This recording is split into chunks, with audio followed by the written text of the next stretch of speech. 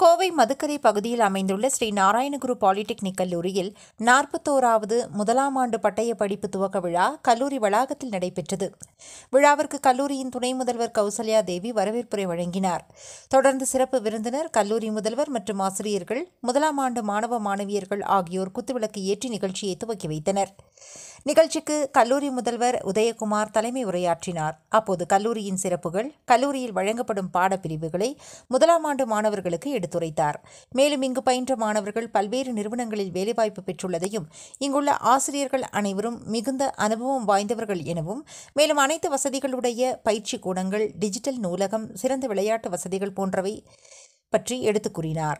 தொடர்ந்து ஸ்ரீ நாராயணகுரு கல்வி அறக்கட்டளையின் அறங்காவலர் சிவகுமார் பேசுகையில் டிப்ளமோ படிப்பின் முக்கியத்துவத்தையும் அதில் பயின்ற மாணவர்கள் சிறந்த தொழில் அதிபர்களாகவும் பல்வேறு நிறுவனங்களில் முக்கிய பொறுப்புகளில் பதவி வகிப்பவர்களையும் குறிப்பிட்டார். மேலும் புது புது கண்டுபிடிப்புகளை மாணவர்கள் தெரிந்து தங்கள் திறமைகளை வளர்த்துக் கொள்ள வேண்டும் என குறிப்பிட்டார்.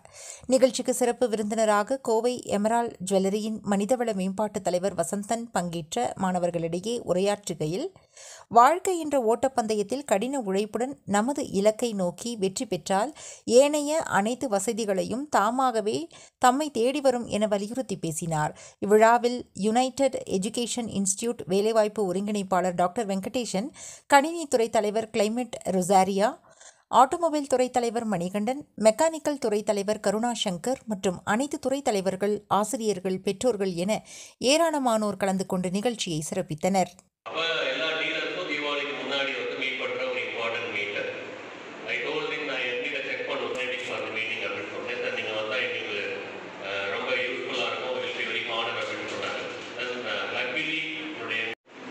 Respected chief guest, our beloved Vasandan